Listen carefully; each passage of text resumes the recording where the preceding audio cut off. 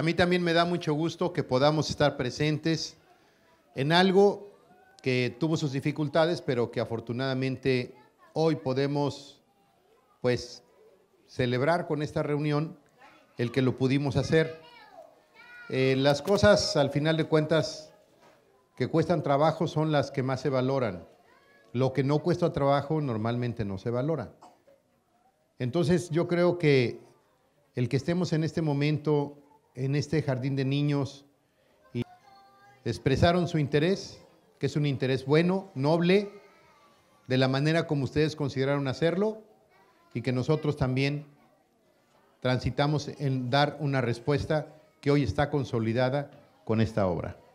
Pero lo que importa es que trabajen todos en el mismo sentido. Y en el mismo sentido es Juan R. Escudero, ¿verdad? Yo creo que, y es una excelente oportunidad porque vale la pena trabajar por la comunidad. Muchas veces es solamente una oportunidad y hay que aprovecharla para bien. Vamos a estar, le, pido a Jorge que revise el planteamiento de la maestra.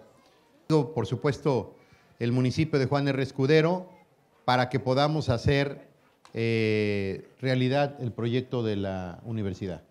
Cuenta conmigo, ahorita ya, si quieres allá lo tocamos, ¿no? Pero por supuesto que lo único que estamos encontrando, buscando es la figura jurídica para poderlo otorgar, pero lo estamos viendo y yo creo que de aquí al próximo lunes, martes tenemos una respuesta correcta, puntual y cuenten con nosotros, ¿no?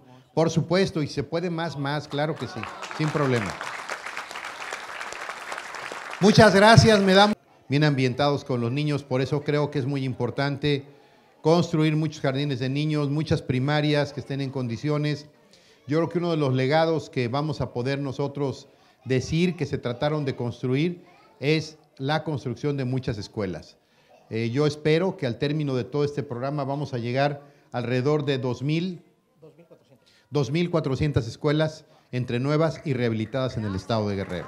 Entonces, va a ser muy importante, muy bueno, muy correcto. Reciban un saludo, directora. Gracias, qué bueno, a mí me da mucho gusto estar con ustedes.